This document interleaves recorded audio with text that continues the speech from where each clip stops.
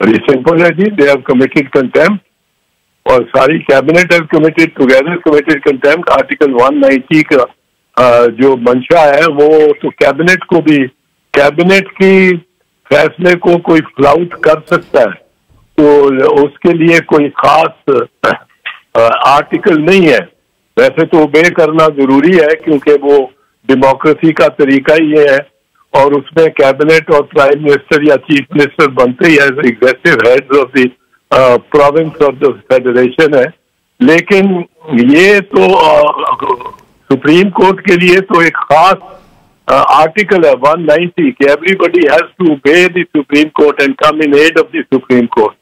اب سپریم اس کے خلاف اگر کرتے ہیں تو یہ بغاوت ہے۔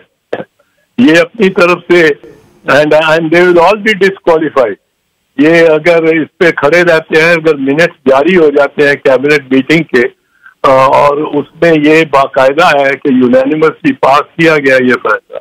They are subject to dissolution this cabinet because Yousuf Raza Gilani پہ آخرکار کیا جرم انہوں نے ثابت کیا تھا۔ ہوتا تھا۔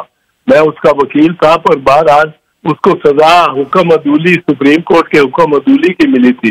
اور وہ چھوٹا سا حکم تھا کہ ایک لیٹر لکھو جس کے بارے میں article two fifty forty eight کو کوٹ کر کے میرا موقف تھا کہ صدر کو آپ کسی عدالت میں پاکستان کے صدر کو سرنگو نہیں کر سکتے جب تک وہ صدر ہے۔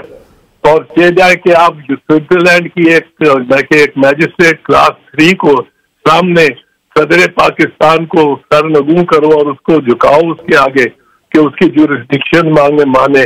تو یہ جب زرداری صاحب نہیں رہے گا صدر اس وقت آپ کر سکتے ہیں ابھی نہیں کر سکتے۔ پر انہوں نے ساورن امیونٹی کے پرنسپل کو بھی نہیں مانا۔ آپ باسط صاحب بہتر جانتے تو اگر پرائم منسٹر ریزائن کر دیں بیرسٹر صاحب تو پھر کیا ہوگا؟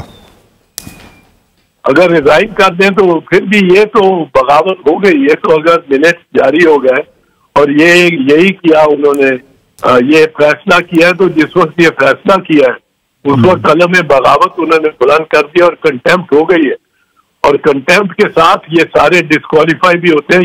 یوسف رضا ڈسکوالیفائی بھی ہوا تھا اور پانچ سال کی ڈسکوالیفیکیشن انکر کی تھی۔ یہ تو بڑی سہولت پیدا ہو جاتی ہے۔